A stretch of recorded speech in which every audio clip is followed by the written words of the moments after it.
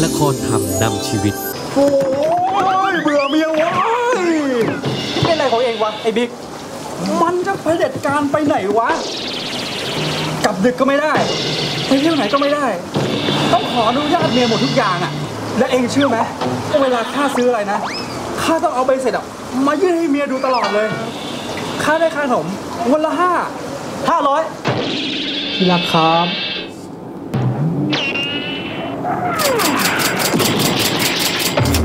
ปกติได้เท่าไหร่ก็เอาไปเท่านั้นแหละ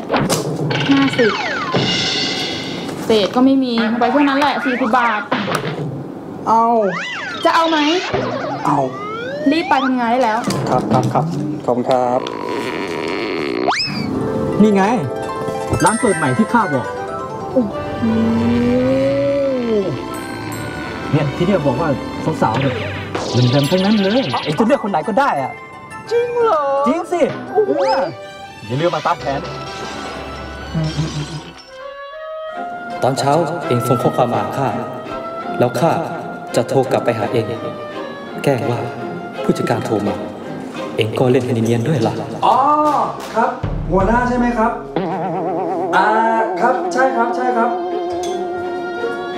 อ๋องานเลี้ยงเหรอครับเรื่องปิดยอดเหรอครับ ไม่รู้สิครับว่าแฟนผมจะโอเคหรือเปล่า อุ้ย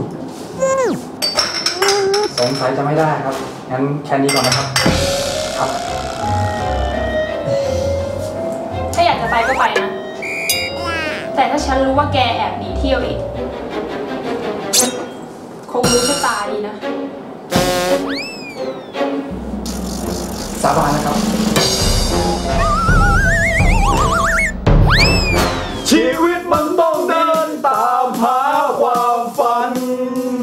เมียพี่เมียพี่ต้องมา นี่เมียไม่มาก็เพราะว่าเมียไม่มี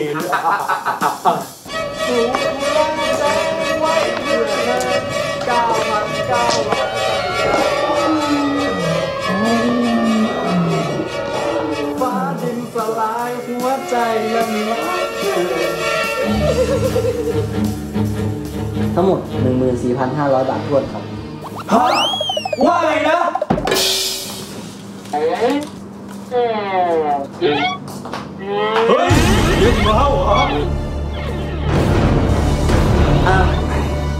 คุณรู้จักกับลูกค้าสองคนนี้เหรอครับ ใช่ มันผัวกูเองผัวคุณเหรอครับ พอดีเลยครับหัวคุณเนี่ยครับ คุณจะช่วยจ่ายให้เขาได้ไหมครับ หลบไป เชิญเลยครับหลบไป เชิญตามสบายเลยครับ ไอ้ผัวไอ้ผัวกลับบ้านเดี๋ยวนี้โอ้ยแกไม่ให้เหลือสักคนเลยไปชายหนีเมียไปเที่ยวเตร ขาดสติ หนีทุกน้อย หาทุกมาก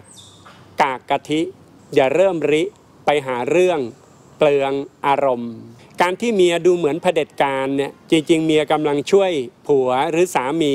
ให้อยู่ในกรอบที่ถูกต้องเหมาะควร เพราะพฤติกรรมไม่น่าไว้วางใจ